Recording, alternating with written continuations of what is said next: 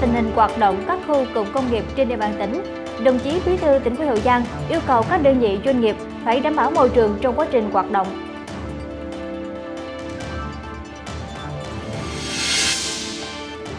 Quyền Duy Thủy tập trung các khâu đột phá phát triển nông nghiệp gắn với thương mại dịch vụ với mục tiêu nâng cao thu nhập cho người dân.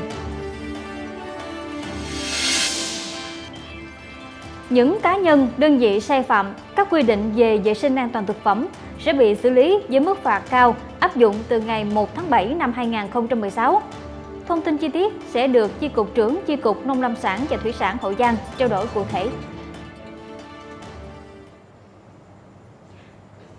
Quý vị và các bạn vừa điểm qua những nội dung đáng chú ý có trong chương trình thời sự tối nay thứ ba ngày 14 tháng 6 năm 2016 của Trung Đội Giang. Thưa quý vị và các bạn, từ đầu năm đến nay, tình hình thu hút đầu tư ở các khu cụm công nghiệp của tỉnh có nhiều tín hiệu tích cực. Tỷ lệ lấp đầy đã hơn 85% với 43 nhà đầu tư đang hoạt động. Đây là lĩnh vực hứa hẹn sẽ có nhiều tăng trưởng trong thời gian tới. Để nắm thêm tình hình hoạt động cũng như giải quyết những tâm tư, kiến nghị của doanh nghiệp, sáng nay ông Trần Công Chánh, Bí thư tỉnh ủy Hậu Giang Ông Lữ Văn Hùng, Ủy viên Trung ương Đảng, Phó Bí thư tỉnh ủy, Chủ tịch Ủy ban nhân dân tỉnh Hậu Giang cùng các sở ban ngành có liên quan đã đến thăm các doanh nghiệp và làm việc với ban quản lý các khu cụm công nghiệp.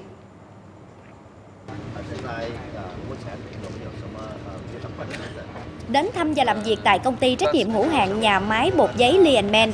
lãnh đạo tỉnh hết sức vui mừng khi đến nay các dây chuyền sản xuất giấy đều đảm bảo đến tháng 8 này đi vào hoạt động. Doanh nghiệp đã nhập thiết bị trên 150 triệu nhân dân tệ, sẽ hoạt động với công suất khoảng 330.000 tấn một năm. Hiện nhà máy đang hoàn thiện khâu xử lý nước thải với công suất khoảng 20.000 mét khối một ngày đêm, nhưng hiện chỉ thải nước ra phần nửa. Được biết, nước thải sẽ qua 13 quy trình sàng lọc trước khi thải trực tiếp ra bên ngoài. Bí thư tỉnh ủy đặc biệt lưu ý đến vấn đề bảo vệ môi trường ở nhà máy giấy. Ông yêu cầu doanh nghiệp phải làm đúng quy trình, có kiểm định chất lượng thường xuyên và đảm bảo nước thải ra môi trường đều đạt loại A. Làm việc tại công ty cổ phần chế biến thủy sản Minh Phú Hậu Giang, ông Trần Công Chánh mong muốn doanh nghiệp chăm lo tốt hơn nữa cho người lao động, kịp thời hỗ trợ, đảm bảo cuộc sống ổn định cho công nhân. Các khoản lương, khen thưởng phải rõ ràng, phát huy vai trò của các tổ chức công đoàn. Doanh nghiệp cho biết, Hiện nay thị trường xuất khẩu tôm đang có nhiều tín hiệu khả quan, nguồn nguyên liệu dồi dào nên sẽ đảm bảo kế hoạch đề ra là kim ngạch xuất nhập khẩu và doanh thu ngoại tệ đạt 190 triệu đô la Mỹ. Tuy nhiên, với hơn 5.000 lao động đang làm việc tại nhà máy vẫn không đáp ứng được nhu cầu, còn thiếu hơn 1.000 lao động. Bên cạnh đó, cấp giấy chứng nhận quyền sử dụng đất cho doanh nghiệp còn chậm.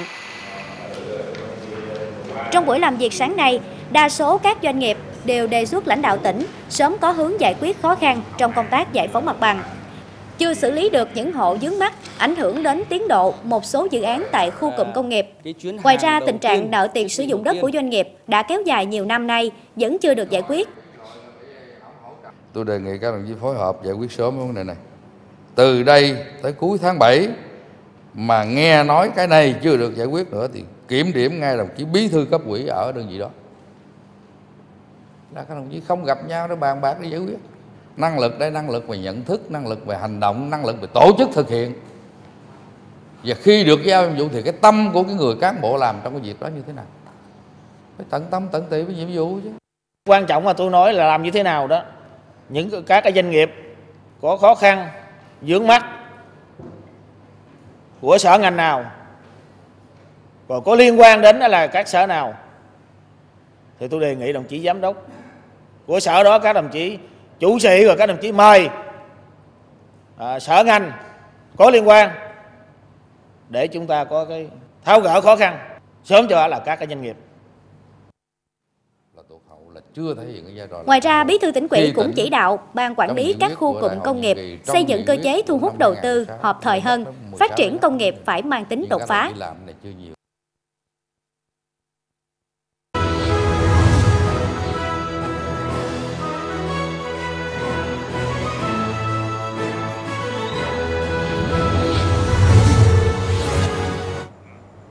Thưa quý vị và các bạn, với thế mạnh đi lên từ sản xuất nông nghiệp, mỗi địa phương đều có những loại nông sản đặc trưng để bắt tay hình thành dùng nguyên liệu, tạo điều kiện cho doanh nghiệp hợp tác đầu tư.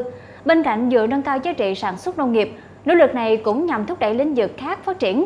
Đối với Quỳ Dư Thủy, mục tiêu của địa phương trong 5 năm tới vẫn tiếp tục đi lên từ thế mạnh nông nghiệp với nhiều bước đột phá. Cùng với đó là phát triển thương mại dịch vụ trở thành đô thị dùng gian của thành phố Vị Thanh. Cụ thể về kế hoạch này thì biên tập viên Tuấn Anh sẽ chuyển đến quý vị và các bạn. Xin mời anh Tuấn Anh ạ. Dân xin cảm ơn chị Hồng Thức. Thưa quý vị, để mở đầu cho tiết mục hôm nay, mời quý vị và các bạn đến với thông tin MDS toàn cảnh.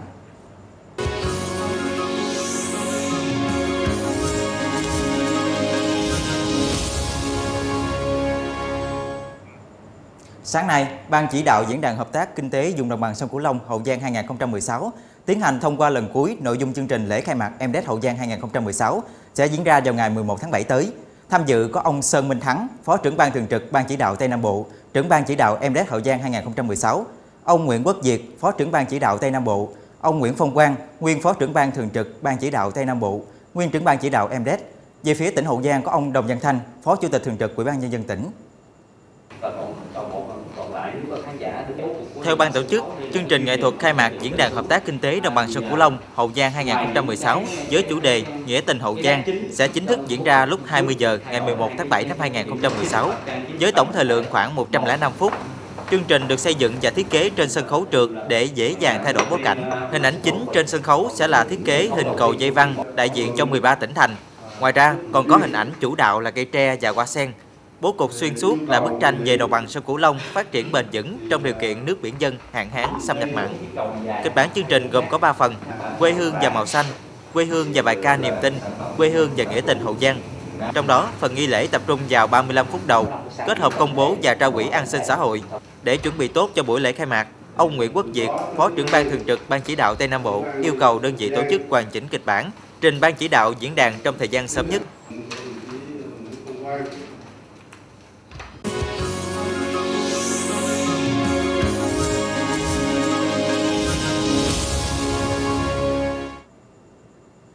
Thưa quý vị, thời gian qua, nhờ đẩy mạnh liên kết, thành phố Hồ Chí Minh đã trở thành hạt nhân, là thị trường tiêu thụ chính của các địa phương vùng đồng bằng sông Cửu Long và ngược lại. Trong đó thì tỉnh Hậu Giang cũng đã có nhiều chương trình, nội dung hợp tác thu được nhiều kết quả đáng ghi nhận. Từ năm 2006 đến nay, có 13 doanh nghiệp lớn, 300 doanh nghiệp nhỏ và vừa của thành phố Hồ Chí Minh đầu tư về Hậu Giang với tổng số vốn trên 2.500 tỷ đồng. Hai bên phối hợp tốt việc tiêu thụ các mặt hàng nông sản, thủy sản thế mạnh của Hậu Giang cung ứng cho thị trường thành phố. Về lĩnh vực an sinh xã hội, Hậu Giang và thành phố Hồ Chí Minh cũng đã phối hợp chặt chẽ để triển khai nhiều hoạt động ý nghĩa và thiết thực. Nổi bật như thăm khám sàng lọc tiêm bẩm sinh cho 857 người, trẻ em có hoàn cảnh khó khăn, thực hiện mổ tiêm cho 202 người, trao tặng 435 suất học bổng cho trẻ em có hoàn cảnh khó khăn. Thưa quý vị và các bạn, quyền Di Thủy, tỉnh Hậu Giang là nơi có nhiều tiềm năng nuôi trồng thủy sản nước ngọt giống địa phương, nổi tiếng là cá thác lát, và đây cũng là dùng lúa đặc sản với các giống mang thương hiệu của Hậu Giang. Để thế mạnh về nông nghiệp hỗ trợ phát triển thương mại dịch vụ, địa phương này đang có những kế hoạch gì trong thu hút đầu tư? Mời quý vị cùng theo dõi phóng sự sau đây. Xác định nông nghiệp là thế mạnh, những năm qua, quyền Di Thủy đã tập trung quy hoạch dùng sản xuất, đầu tư hệ thống thủy lợi, áp dụng tiến bộ khoa học kỹ thuật nên lĩnh vực nông nghiệp của tỉnh phát triển khá toàn diện. Đặc biệt, diện tích cánh đồng lớn không ngừng tăng, từ 394 hecta ban đầu tại xã Dị Thanh đến nay đã tăng lên 500 hecta, mở rộng ra các xã Dị Thắng, Dị Thủy, Vĩnh Thuận Tây. Đặc biệt cánh đồng lớn gắn với các giống lúa chất lượng cao đang nằm trong kế hoạch đầu tư của huyện. Thì chúng tôi sẽ quy hoạch các cái vùng trên cơ sở kêu gọi các cái ờ, doanh nghiệp à, đến khảo sát liên hệ để bàn cái cơ chế đầu tư mục đích của mình là làm sao là để nâng cao cái thu nhập cho người nông dân và cải thiện được cái sản xuất trong đó đặc biệt là gắn cái thương hiệu lúa mang tên Hậu Giang mới là rất quan trọng mà xuất phát từ cái địa bàn huyện Thủy. Lĩnh vực thương mại dịch vụ cũng được chú trọng, nhất là đầu tư xây dựng hệ thống chợ trên địa bàn.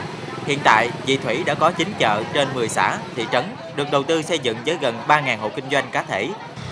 Gần nhất với thành phố Dị Thanh, huyện Vị Thủy là nơi cung cấp nguồn nguyên liệu quan trọng cho thành phố, thúc đẩy phát triển thương mại dịch vụ giữa hai địa phương. Là Di Thủy là cái vùng đệm, do đó là cái, đây là cái vùng nguyên liệu rất quan trọng để mà cung cấp các cái nguyên liệu, các cái nông sản hàng hóa cho cái chợ thành phố Di Thanh, rồi cũng như cung cấp cái à, lao động cho thành phố Di Thanh. Trên cơ sở đó thì khi mà chúng ta cung cấp như vậy đó, thì cái thu nhập của người dân cũng được cải thiện nâng lên. Chính cái chỗ này nó sẽ tương tác hỗ trợ qua lại với nhau. Muốn như vậy thì phải tổ chức sản xuất lại tốt, rồi lao động phải có được tay nghề cao thì rõ ràng cái thu nhập thì cũng mới được cải thiện Hiện Vị Thủy đang tập trung phát triển cơ sở hạ tầng, chủ động hợp tác và khai thác có hiệu quả các chợ trên địa bàn. Phấn đấu nâng tổng mức bán lẻ hàng hóa và doanh thu dịch vụ đến năm 2020 tăng bình quân từ 8 đến 10%. Mục tiêu cuối cùng là nâng mức thu nhập cho người dân. Thưa quý vị, tiết mục Tiến tới MDS Hậu Giang 2016 hôm nay xin tạm dừng. Bây giờ mời biên tập viên Hồng Thức tiếp tục chương trình thời sự.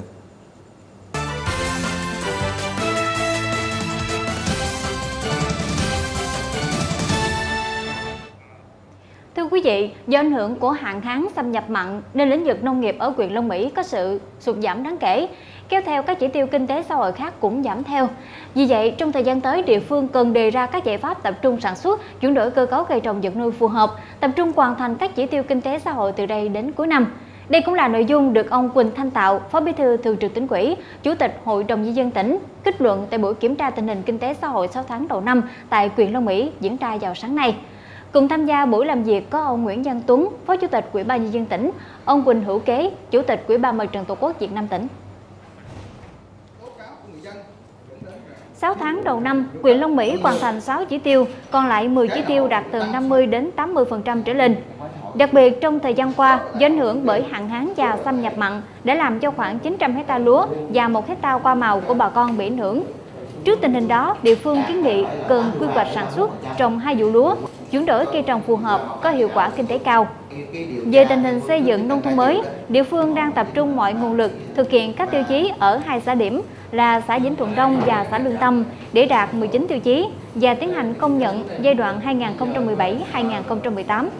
Đặc biệt phối hợp với đoàn Hàn Quốc hỗ trợ xây dựng làng nông thôn mới tại xã Lương Tâm.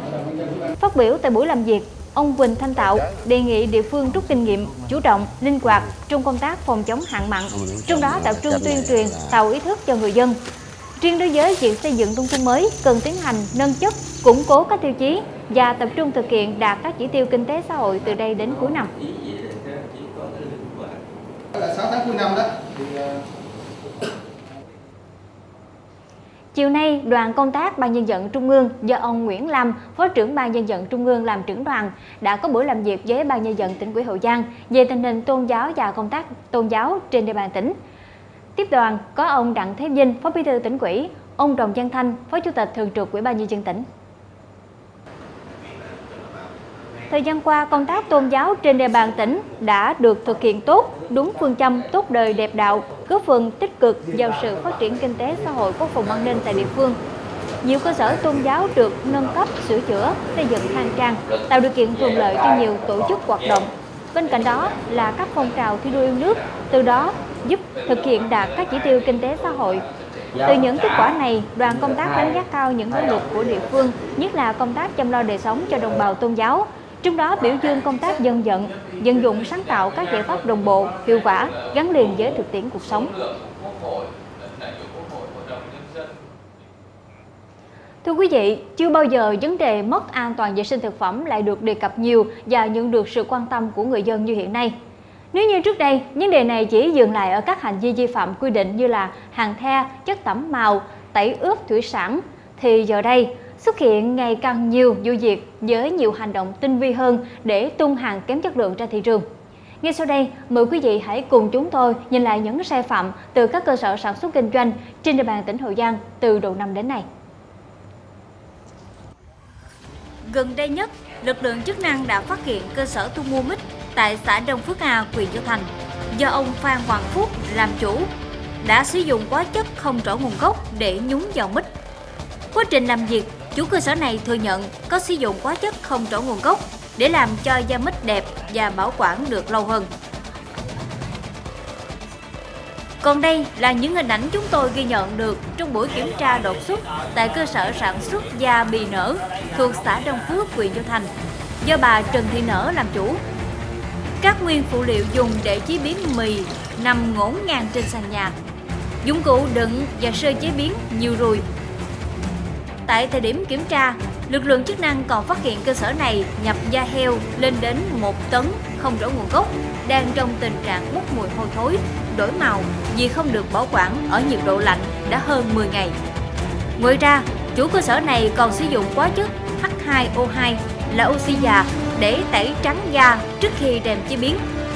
Đây là loại hóa chất nằm trong danh mục cấm chế biến trong thực phẩm, chỉ được sử dụng trong công nghiệp. Giá ăn cũng không tránh khỏi tình trạng ngâm thuốc tẩy trắng. Tại thời điểm kiểm tra, cơ sở sản xuất giá Vũ Thắng tại huyện Phụng Hiệp, đoàn kiểm tra phát hiện cơ sở này không có giấy chứng nhận đủ điều kiện an toàn vệ sinh thực phẩm. Sử dụng phụ gia trong sản xuất, chế biến ngoài danh mục cho phép là sodium hydrosulfite. Đây là chất tẩy trắng trong ngành dệt có xuất xứ từ Trung Quốc. Trước đó khi kiểm tra lò chả lụa của cơ sở Kim Trang 2 do ông Đặng Đình Dương làm chủ ở thị trấn Cái Tắc, sau khi phát hiện nhãn bao bì không in ngày sản xuất, hạn sử dụng, chủ cơ sở này còn tỏ thái độ không hợp tác với ngành chức năng. Đúng, tất nhiên rồi sẽ làm đúng quy định pháp luật. Và sẽ mời anh để làm việc. Chưa dừng lại ở đó, các đơn vị chức năng tỉnh Hậu Giang còn phát hiện 60 lao động của cơ sở giết mổ gia cầm ở ấp Tân Bình 1, xã Long Phú, thị xã Long Mỹ sử dụng nhựa thông để làm sạch lông của trên 550 con gia cầm. Thời điểm kiểm tra, trong kho của cơ sở vẫn lưu giữ trên 2.100 con gia cầm đã làm sạch lông bằng hóa chất này. Thưa quý vị, qua những hình ảnh vừa rồi có thể thấy thực phẩm bẩn, độc hại đang có nguy cơ để lại nhiều mối nguy hại lâu dài, hủy hoại dần sức khỏe, khả năng lao động và cũng là nguyên nhân phát sinh nhiều loại bệnh hiểm nghèo, đặc biệt là bệnh ung thư. Vậy đối với những trường hợp sai phạm mà chúng tôi tổng hợp như trên, ngành chức năng sẽ có chế tài cụ thể nào để xử lý? Ông Nguyễn Minh Đức, Chi cục trưởng Chi cục Quản lý chất lượng nông lâm sản và thủy sản tỉnh Hậu Giang sẽ có những thông tin cụ thể về quy định xử phạt mới có hiệu lực từ ngày 1 tháng 7 năm 2016. Mời quý vị và các bạn cùng theo dõi. À, thưa ông, thời gian qua thì Hậu Giang phát hiện nhiều các vụ việc vi phạm an toàn vệ sinh thực phẩm. À, vậy đến thời điểm hiện tại thì cái việc mình xử lý các trường hợp này như thế nào, thưa ông?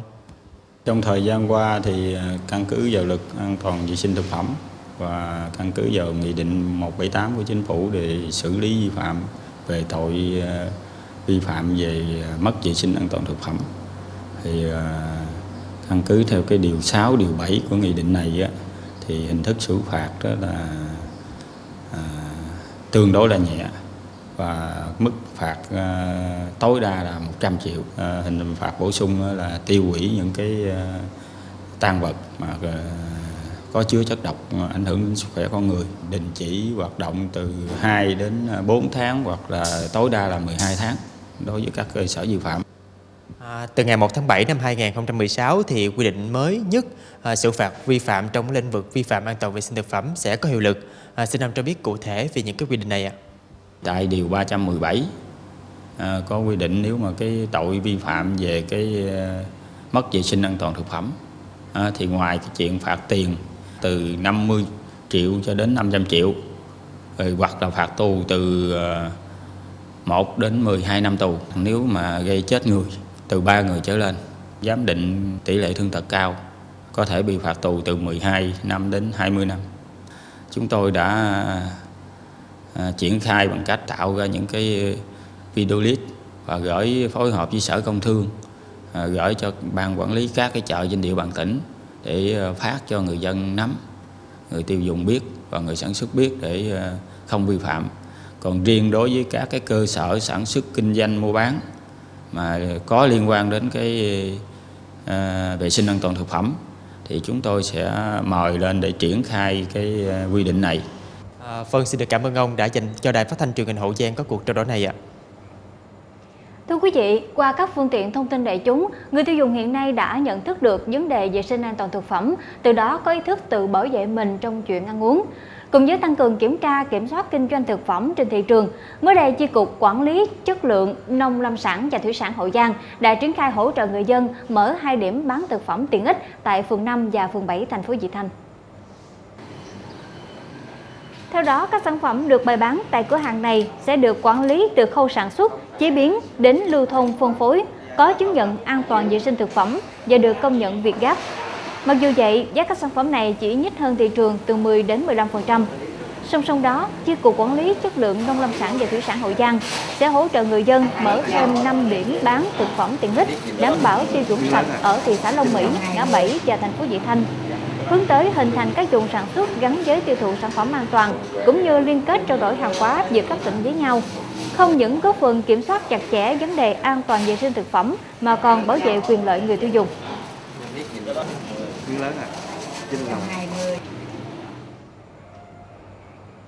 Thông tin vừa rồi cũng đã kết thúc chương trình thời sự tối nay của Trung Hồ Giang. Cảm ơn sự quan tâm theo dõi của quý vị và các bạn. Xin kính chào và hẹn gặp lại.